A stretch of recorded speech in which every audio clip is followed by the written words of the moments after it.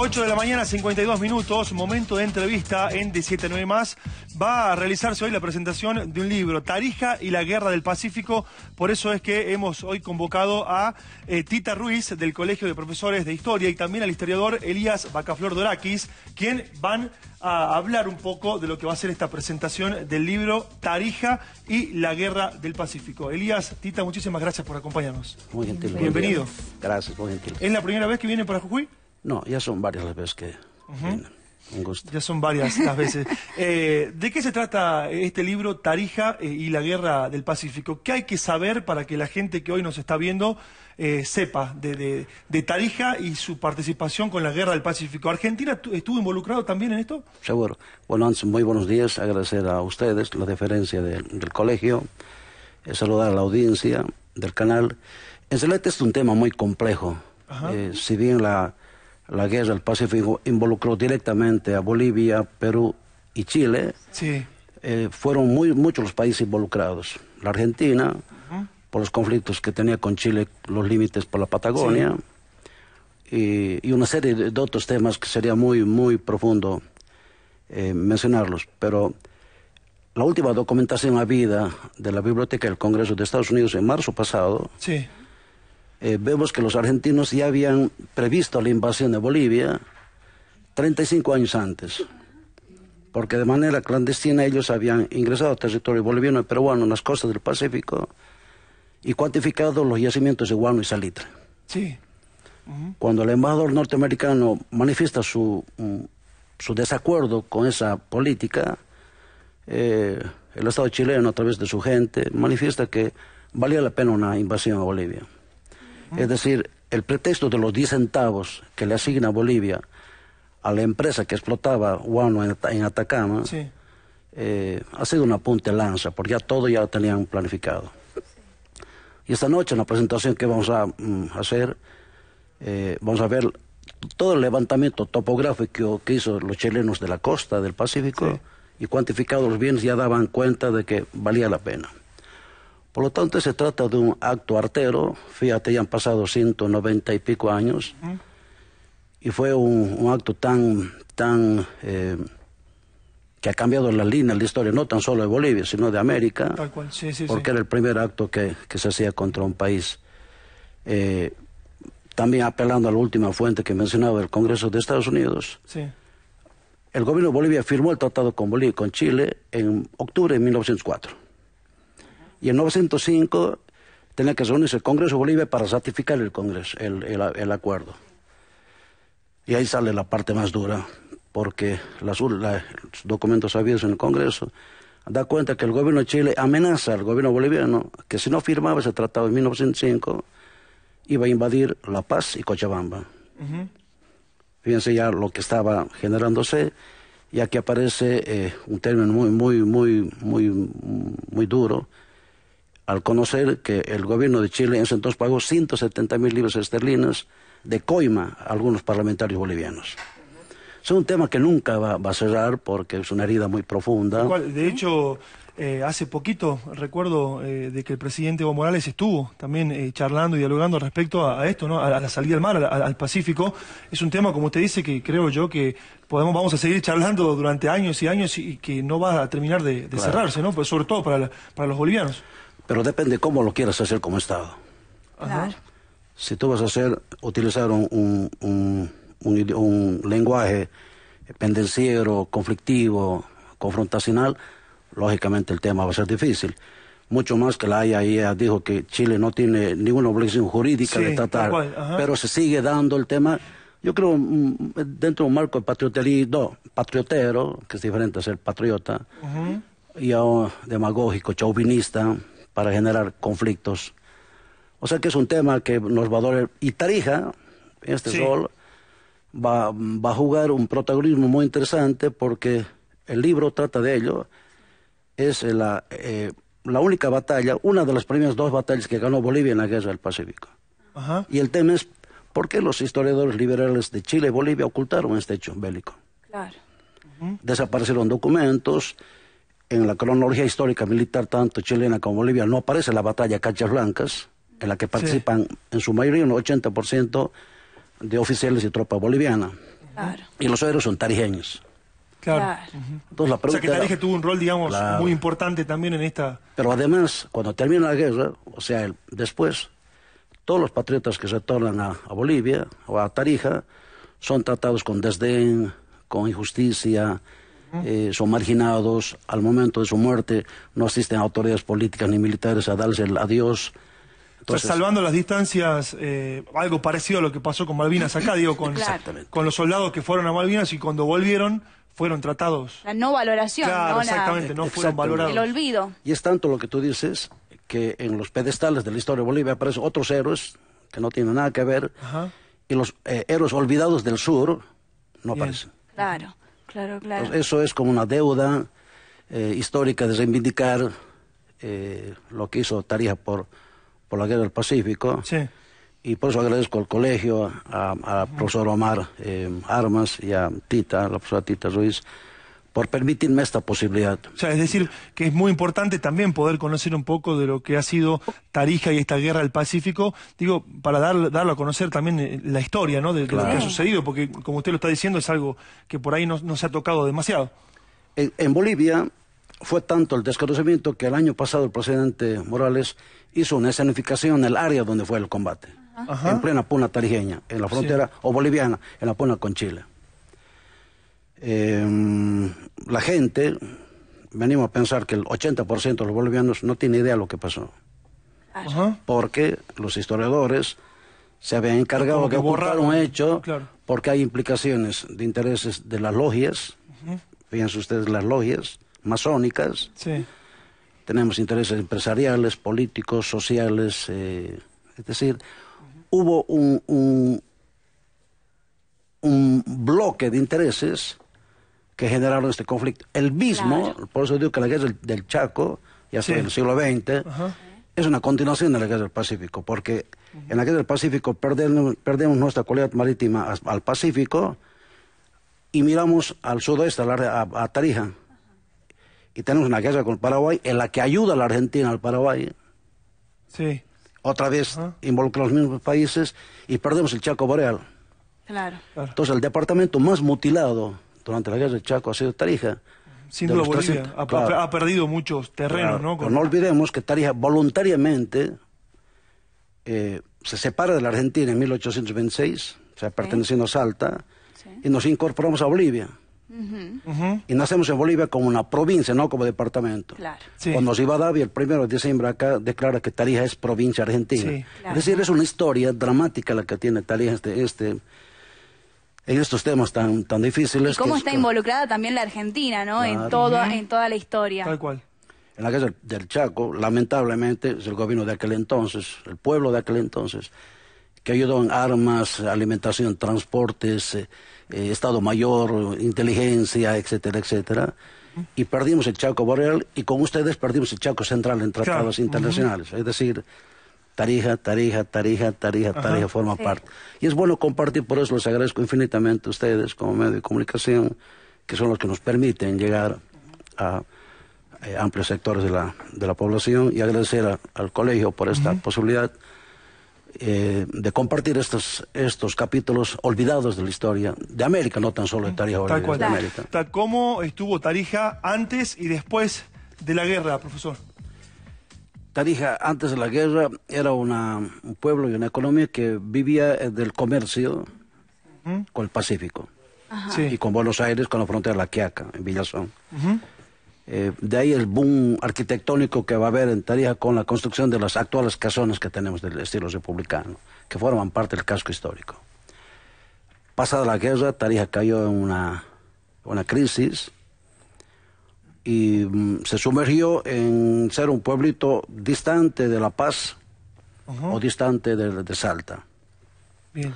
O sea que era una economía, eh, no diremos de subsistencia, pero era una economía muy, mm, lo necesario. Claro, o sea, Claro. a comparación de lo que estuvo previo a la Claro, guerra, después claro. las consecuencias fueron, fueron muy duras. Y, y eso, y eso significó que, por ejemplo, Tarija se enteró de la invasión de Chile a Antofagasta al mes, al mes exacto.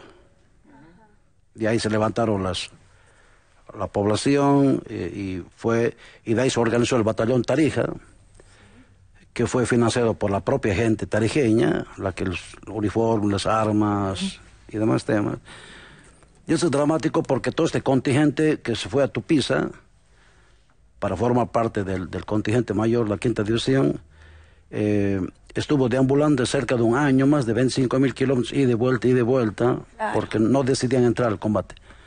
Y cuando vuelve esta gente, logramos el triunfo en, en Canchas Blancas, y es tratada con lo peor. ¿Por qué? Porque eh, asume la presidencia Ismael Montes, que es un liberal, el, era el que ha- había firmado el tratado con Chile, entonces le toca la oportunidad de hacer un revanchismo y persigue a todos los que se oponían a él.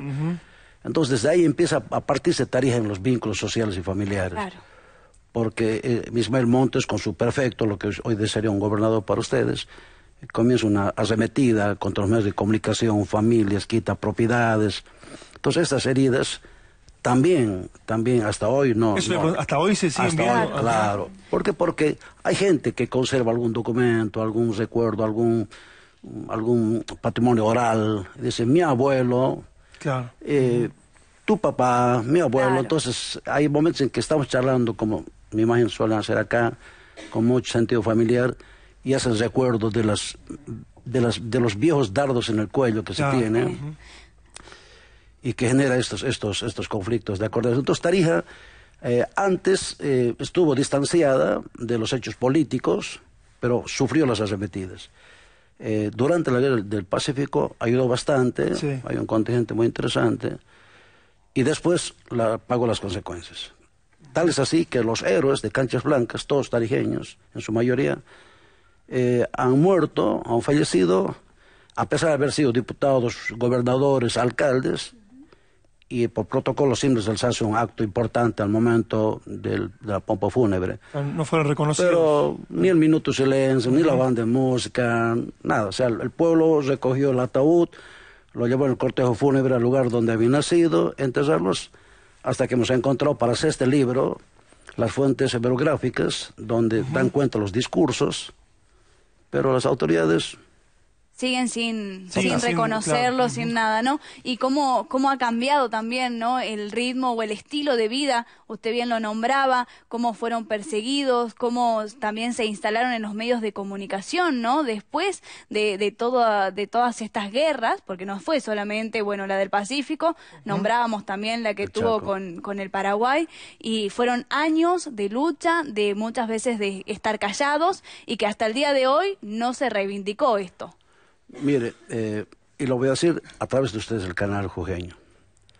La decisión que tomó Tarija aquel 26 de agosto de 1826 de renunciar voluntariamente su pertenencia a las provincias del Río de la Plata es un tema que si yo me siento en una, una pasillada en Tarija o en cualquier reunión, es un tema hasta hoy, 15 Y de se abril sigue de hablando. 2018, es un tema polémico. Ajá. Porque, porque Bolivia, y eso no es una queja ni es un lamento en absoluto, sino es una, una, una lectura histórica, eh, siempre Tarija ha sufrido eh, la- el distanciamiento del poder central. A Tarija nos han tildado siempre ser la, la cenicienta de Bolivia. Sí. Pero Tarija, desde 1924, es el primer pozo productor de petróleo Ujú. y hasta hoy es el, el departamento que da todo lo que significa las regalías por la venta de gas a Bolivia. O sea, Sí. en términos coloquiales es la billetera de Bolivia.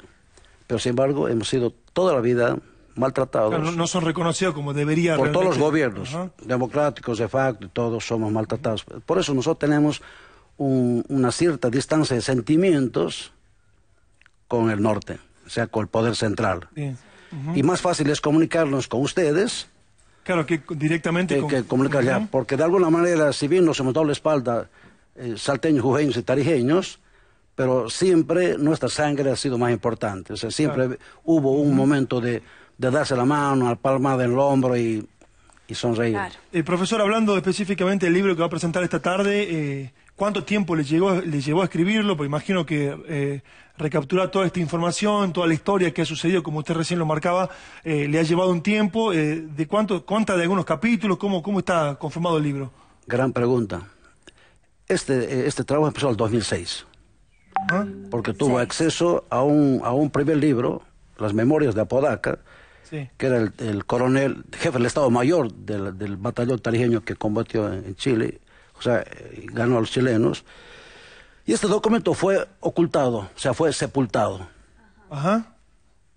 en el departamento quinto, es decir, en el ejército boliviano, eh, fue sometido, ocultado, para que nadie tenga acceso, y un amigo logró tener acceso al documento, me dio una foto mecanografía, una fotocopia me- mecanografiada, y ahí comenzó Y ahí a, comenzó a ver. usted a hacer- Y a cada vez que pasaba una página me sorprendía, Claro. porque este señor Ajá. escribió su diario desde, ju- desde julio de 1879 hasta abril de 1880. Y ahí da el detalle de la- del combate, obviamente. Claro. Claro. Y la pregunta era, ¿por qué no conocemos este, este diario nosotros los bolivianos? Claro, Tal porque cual. estaba Y oculto. después encontré el otro libro que es la base de este trabajo. Es el, el- el, mm, el escrito que escribe la hija del héroe de Canchas Blancas. Esta señora eh, tenía 103 años cuando escribió su memoria, sus memorias, una memoria fotográfica sí. y detalle. Todo lo, yo lo que hago es comparar lo que escribe Isolina con lo que escribe Apodaca y yo busco un Ah. contexto histórico. O sea, Claro. un trabajo bastante... Entonces, munirme de documentación de autores chilenos, prominentes Sí. historiadores chilenos, argentinos, las fuentes del, ar- del archivo de- del Congreso de Estados Unidos. Es decir, el tema no era una, una batalla y lo que nos acostumbra en Bolivia y seguramente acá en la Argentina. El relato escolarizado de los hechos históricos. Claro. Que por acá pasó tal, que aquí se paró el caballo. No, el tema es el tema sociológico. ¿Qué pasó con la guerra? ¿Por qué? ¿A qué decidimos? ¿Qué, qué hemos jugado? Entonces vemos que por encima del concepto de patria habían otros intereses. Claro. Ujú. Qué y que llega el interesante, momento sí. les importa Sí. nada. Muy, muy interesante y como decíamos, ¿no? Es un, un tema todavía latente que todavía no se conocen todos los detalles, así que bueno, Bueno, está... ahí está el libro Tarija está el y la libro, Guerra del Pacífico supuesto. para poder conocer también un poco, un poco de la historia. ¿Cuándo va a ser la presentación de este libro? Es esta tarde Ajá. en el Centro Cultural Tizón a partir de las 19. Quería destacar que Elías Bacaflor Dorakis va a comenzar con una charla sobre la batalla de la tablada de Tolomosa, que hoy es aniversario. Hoy es aniversario. Ajá. Y luego será la presentación del libro. Eh, agradecer, esto también entra dentro de la Secretaría de Cultura de la Municipalidad de Jujuy, eh, junto al Colegio de Profesores de Historia, estamos en una comisión de revalorización histórica Claro. y bueno, y tenemos el honor de contar con la presencia del historiador. Tita, y qué importante es para Jujuy poder también conocer un poco de, de la historia de Tarija, y como lo decía recién Elías, ¿no? que tuvo participación argentina en, en diferentes batallas. Digo, qué importante también es poder dar a conocer, ¿no? Sobre todo para, para conocer un poco más de historia, ¿no? Seguro, eh, creo que estamos en un movimiento muy importante, eh, tanto Tucumán, Salta, Jujuy, este sábado hubo un encuentro de historiadores, Bien. de hacer eh, no solamente reivindicar la historia, sino la- estos hechos históricos desde la mirada desde el siglo XXI. Claro. Tal cual. La gente que está mirando y quiere participar lo puede hacer, la entrada es libre. Es libre, gratuita, Ajá. entonces la cita es hoy, Centro Cultural Tizón, 19 horas. Bien. Elías, eh, Tita, muchísimas gracias por habernos Si me acompañado. permites. sí, por Sí. favor. Hoy es aniversario del combate a la tablada, en el que está Eustaquio Méndez vinculado con todos los guerrilleros jujeños. Invitar a, a los residentes tarijeños, que aquí son miles, Sí. y me doy la libertad de agradecer al pueblo jujeño por haber cobijado a mis hermanos acá. Ajá. y que celebremos juntos este, este, este aniversario 202 del combate a la tablada Ujú. Y a invitarles eh, para que participen de la presentación y la conferencia. Y reitero mis agradecimientos a ustedes, por favor, a la teleaudiencia y agradecer a la asociación eh, por esta invitación, esta deferencia y a través de Tita agradecer a Omar y a toda la membresía eh, del, del Colegio de Profesores de Historia. Muy- muy Nosotros gentiles. agradecidos también de conocer No, un poco favor. un poco de historia de, de- de Bolivia, nuestro país hermano, eh, y de, de Tarija. Hay, hay que Qué conocer bien Tarija. contado, ¿eh? Sí, tal Sí. cual. eh, realmente Sí, sí, resumido muy bien. eh, vale la pena, eh, Tarija y la Guerra del Pacífico, el libro que se presenta hoy a la tarde. Eh, hay que conocer Tarija. Yo no Hay conozco. Tarija, me han dicho que es muy bonito. Sí, a muy mí bonito, también. así que hay que ir a conocer. Sí, Elías. bonito no, es bello. Es Ahí bello. está, ajá. bello. Tal cual. y ya tenemos la invitación oficial, Sí, así que no tenemos nos dijo, excusa. cuando ustedes quieran pueden ir, están cordialmente invitados, así que Por el agradecimiento favor, también. Elías, No, por la invitación. Gracias por habernos acompañado eh, hoy a las 7 de la tarde. 19 horas esta tarde en el Tizón. Gracias. Un beso, gracias, muy gentiles.